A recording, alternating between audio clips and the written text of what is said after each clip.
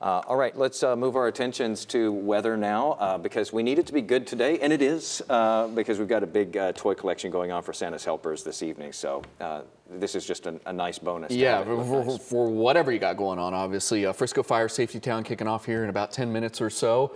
Uh, we'll talk more about that coming up in a minute. But uh, yeah, beautiful day today. Stretch of just gorgeous, gorgeous weather we've had over the last several days, going back to Saturday. But I mean, Sunday was really kind of the kickoff to the really nice day. Saturday wasn't bad at all, but Sunday was really nice. And then yesterday and today, and we're just going to keep it going as we head into tomorrow as well. 68 outside at the moment. One of the reasons why it's been so nice is that air has been very dry. We talk about the dew point sometimes. Remember, it's the true measure of moisture in the air. Dew points are mostly in the 30s right now, and basically, the lower the dew point, the drier the air, and that's some pretty dry air for North Texas. In fact, anything less than 55 makes it feel very pleasant outside. So it not only gives us the cool to chilly mornings, the, the actual temperature can't drop lower than the dew point.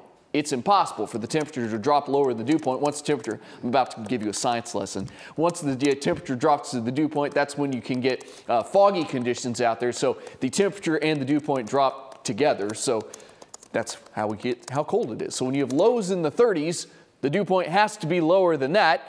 And we have, you know, it's one of those warm summer days and it only drops to, you know, 70 or something like that overnight.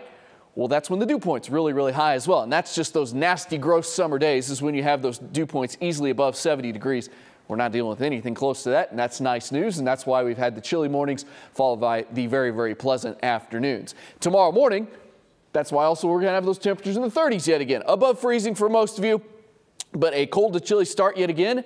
Most of you in the upper 30s, maybe a few low 40s here or there. Either way, it's pretty close to normal for this time of the year. And then tomorrow afternoon, a pretty seasonable afternoon as well. Low to mid 60s for most places, and that should come with plenty of sunshine to go around. Clear skies outside at the moment. and We'll have the clear skies overnight tonight, and that'll help that temperature fall. When we have a blanket of clouds overnight, that kind of acts like a blanket and keeps the temperature from falling. But we'll have clear skies tonight, and that'll lead to those chilly temperatures by tomorrow morning.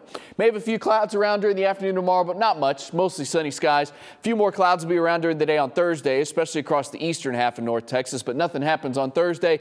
Nothing happens on Friday. But Sa- Saturdays when changes arrive, cold front moves into the area. Some showers may be out there to start the day across eastern North Texas, but those will kind of quickly move off to the east. Your thunderstorm threat will be kind of along and ahead of that front. You can see at noon that front's already through most of North Texas. It'll take the uh, thunderstorms along with it.